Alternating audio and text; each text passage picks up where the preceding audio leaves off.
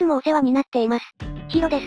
今日は、来週発売のスターターセットに収録されるカードをまとめました。